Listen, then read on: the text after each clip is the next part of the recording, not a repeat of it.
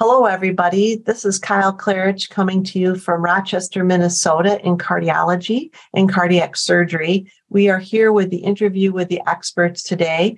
Today, our expert is, and it's my pleasure to introduce Dr. Kevin Greason, Associate Professor of Surgery and Phenomenal Surgeon at Mayo Clinic in Rochester.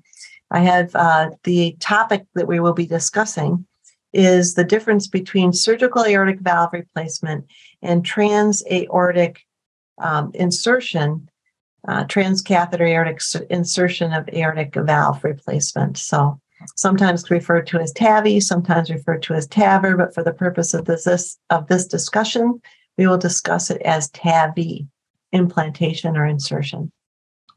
Right, Kevin? Right. Uh, good morning, Kyle. Thank you for having me. It's great to have you here. Uh, so, Kevin, uh, when we talk about aortic valve replacement or or transcatheter approaches to aortic valve insertion, we know that the surgical approaches have become so uh, safe, uh, durable. Patients do very, very well for long periods of time. So now we have this new, relatively new procedure that's also beginning to get a lot of traction. And as you know, we're doing a lot of them at Mayo. And I was wondering if you could just give the audience an overview of what groups of patients you really think are meant to have the transcatheter approach versus a surgical approach in today's technology. Thank you, Kyle. That's a great question. And I think it all boils down to um, the TAVI procedure offers a less invasive option uh, for aortic valve, treatment of aortic valve stenosis. Uh, and less invasive in that it can be done through a puncture in the groin, and it does not involve the cardiopulmonary bypass machine. I mean, those two th- advantages are huge for TAVI procedure. And we kind of, we live in a patient-centric environment. And I think our job as a aortic valve expert is to give the patient all the information they need so that they can make the right decisions for themselves. And sometimes we do color that by telling them, you know, you're not a good TAVI candidate or you're not a good surgery candidate. And we just have to be honest with them so that they can make the right decision for themselves. Do you think that there uh, is a difference in certain endpoints? Like maybe we could, I think probably the most important one to many patients is what's the risk of death related to a surgical or transcatheter approach? So we're fortunate in that there have been several large prospective randomized studies that have looked at the comparison of surgical versus transcatheter aortic valve insertion. And in general, I tell patients that the risk of dying from the procedure is the same. Uh, and as far as we know, the data that we have out to eight years, there's no difference in mortality whether you have surgical or transcatheter aortic valve insertion. Now, most of those studies that were done were done in 85 year old people, and those data are not necessarily applicable to 60 year olds, but it's something that we can talk about in the consultation room. How about stroke? That's also been raised as something that we worry a lot about with any interventional procedure and any surgical procedure. Is there a difference in rates of stroke related uh, problems? That's a great question because I don't think there's a surgeon alive who would have thought that TAVI could be done with a low risk of stroke. But it turns out the risk of stroke is the same. At 30 days, the risk of stroke is the same with TAVI and surgery that's impressive really. I, I, I have to say that i was one of the doubting uh, cardiologists at the time too just for, based on our previous experience with balloon valvuloplasty. We knew that there was a risk of stroke with those that was quite high.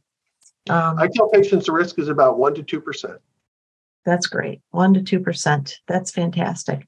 And most people fear stroke more than death. So that's an important I, conversation to have that's that's actually a really good point. And I said death might be the first thing that people worry about, but I think you're right. My experience, patients worry more about living with a debilitating stroke than dying with a procedure. So that's a really important point, and that it's only one to two percent is very low. So 98 to 99 percent of our patients could get through either a surgical or a catheter implantation with very low risk of stroke. So that's fantastic. Yeah. And most of those strokes are mildly debilitating.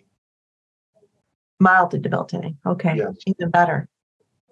How about the groups? Um, well, maybe is there a, a certain group of patients that you tend to steer in the direction of surgical valve replacement versus transcatheter implantation?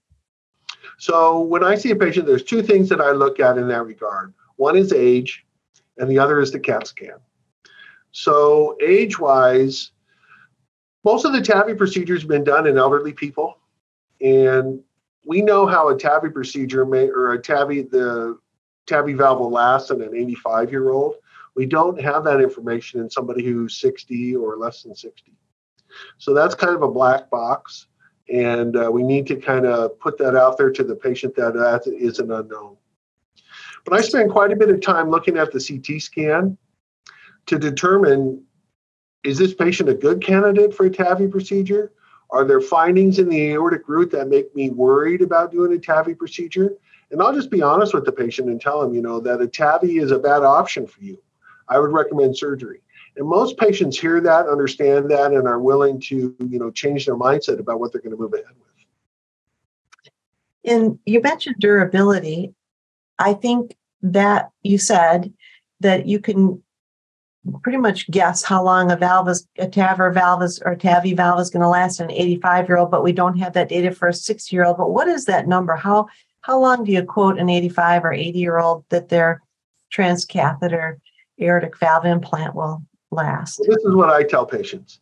You will wear out before the valve will wear out. Now, I don't have a crystal ball to know for sure, but um, we're not seeing any signal that TAVI valves break down early.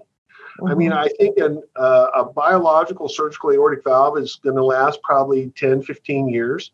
And I think that's what we'll see with the TAVI valves. There is one study out there called the Notions trial that has patients out to eight years after uh, surgery or TAVI, and there's no difference in structural valve deterioration um, in the in those patients. So, so at least I mean, to eight, yeah, so that means that at least out to eight years, we are pretty convinced that they they track each other very closely. Yeah, the surgical and the- I think there's only like 145 patients in each of those study arms, so it's not a huge study, but it is encouraging. And it does su- suggest that we'll be hearing more about this in a few years. So that's good news. Yes. Uh, how about the risk of other things? For instance, the pacemaker. Uh, we yeah. hear, we watch so for that complication. Yeah, so that's where the big differences come. So I focus on several areas when I'm uh, talking about risk in surgery uh, versus TAVI. One is dialysis, renal failure. That's less with TAVI procedure. Respiratory failure, much less with TAVI procedure. Blood transfusion, much less with the TAVI procedure. Now that ratio switches when we start talking about pacemakers. So in the prospective partner three study, there was no statistical difference whether you would get a pacemaker with surgery or with TAVI procedure. But that's kind of an anomaly. And our kind of real world, real world experience here in Rochester is that your chances of needing a pacemaker after surgery is about 5%. Your chances of needing a pacemaker after the TAVI procedure is probably about 15%. But not all those TAVI patients had heart block. A lot of them had a new left bundle branch block uh, in the setting of already having like a first degree AV block. And we're just a little nervous about sending those patients out without a pacemaker. It's not that they need it definitely, but we're pretty sure they need it just for safety's sake. Right, just an abundance of caution then to put send them out since we yes. we don't know for sure. And I think everyone's aware that probably the transcatheter procedure has a shorter recovery than the surgical, but can you articulate a little bit further how what the differences are there? Right. I tell patients that if the TAVI procedure goes well, they will probably be better in one day. Surgery is going to take them probably two months to get over that. Now, that doesn't mean to say that we should never do surgery, but all things being equal, um, you know, your chances of getting up and, and being back to normal after a TAVI procedure are much greater. And I've had patients who, the first time they get up to walk after a TAVI procedure, tell me that they can breathe now. That's pretty impressive. Yeah, that is. That's fantastic. I, I think it's an amazing uh, new technology that's really not that new, but we're certainly learning that those inoperable patients, high risk patients, and now intermediate risk and even low risk patients are reasonable uh, TAVI candidates. Yeah. Would you agree? Yeah, you know, I tell pa- patients that you know we have the iPhone 7 version right now of the TAVI valve. Uh, who knows what it's going to be when it's you know the iPhone 14 or whatever, you know? Yeah. Um, I'm excited so, about it. So it's pretty clear that for an older patient that has appropriate anatomy based on your CT scan evaluation, those patients would we'd steer them in the direction of a TAVI. I would um, agree. And those patients who have unfavorable anatomy or may need some other surgical procedure, i.e., uh, some sort of a mitral or tricuspid valve or coronary artery bypass grafting, and even that's a plus or minus because you could approach that percutaneously as well. But mostly, uh, patients that are straightforward aortic disease would be steered towards a TAVI, unless they're young. And young, I think, is getting younger, is getting older all the time. I get older too. so, yeah. So you said 60 or below. Yeah. Um, is that kind of so that's between 60 and 85 how do we make that that's a tough group isn't it yeah so you know that's where oftentimes those additional comorbidities come in so, you know, when we do a TAVI procedure, we're really just focusing on the aortic valve. We're not treating their atrial fibrillation. We're not treating their mitral or their tricuspid disease. And certain nuances of coronary disease are probably best treated surgically. And that's an important discussion to have with the patient because surgery does offer the option to do a left atrial appendectomy, which can have a significant stroke reduction effect on them with their atrial fibrillation and also you know dealing with the uh, mitral or the tricuspid valve regurgitation. I tell patients that with a successful TAVI procedure, there's about a 25% chance their tricuspid or their mitral regurgitation will get better. There's about a 25% chance it may get worse. And there's about a 50% chance it's not going to change. But we know with surgery that we would be highly effective at making their mitral or tricuspid regurgitation much less. So that's just where it comes into the each patient is an individual, and you need to sit down and go through those additional comorbidities with them. Right. So I, I think uh, this has been a really comprehensive discussion in general, but what you're saying is that in general, it's great to think about TAVI and the whole mix, but for an individual patient, we need to take into account all the other uh, comorbidities that they have in other organ systems and all the other comorbidities they have in the cardiac system as well. Uh, and once that's done, then we can make the final recommendation based on those right. findings. Yeah.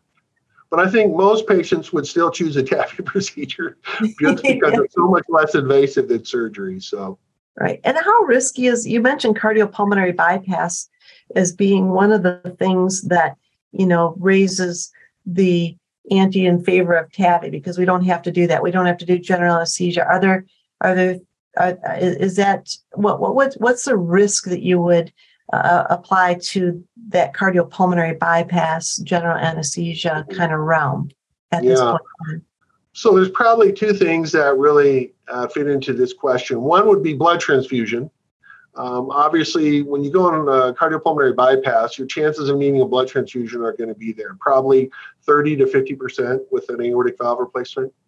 And the other one would be renal failure uh, or just acute renal injury. Um, now, the good news is, is you know the chances you'd end up on dialysis are pretty low to begin with, but they're certainly higher with a surgical procedure than they are with a transcatheter procedure. And both of those complications are related to the cardiopulmonary bypass. Thank you for clarifying that. That's great. Are there any other final points you want to make about the discussion surgical versus transcatheter aortic valve implantation? No, I think the most important aspect is you know uh, framing it around the patient uh, patient centric uh, discussion and letting them understand all the nuances.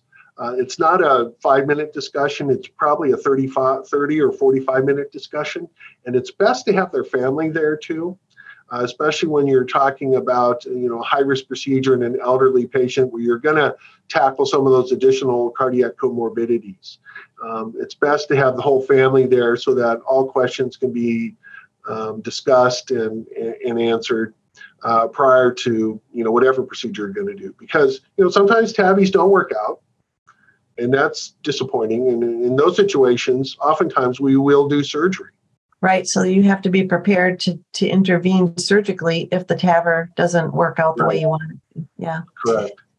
So I think you're you make a very good point that in today's world and as it should be, things are patient centric, and there's a lot of shared decision making that goes into the planning for uh, a cardiac procedure, especially when it comes to aortic versus aortic surgical versus aortic transcatheter implantations.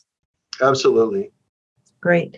Well, I think this has been really informative, and uh, we it's been great to have you here and you're very knowledgeable on this subject and i know you do both and so you have a very balanced view of both surgical and transcatheter approach to aortic valve replacement. So i'd like to thank you for taking time out of your busy schedule to participate with uh, the interviews with the experts and uh, have a nice rest of your day to you and our audience. Thank you kyle. You too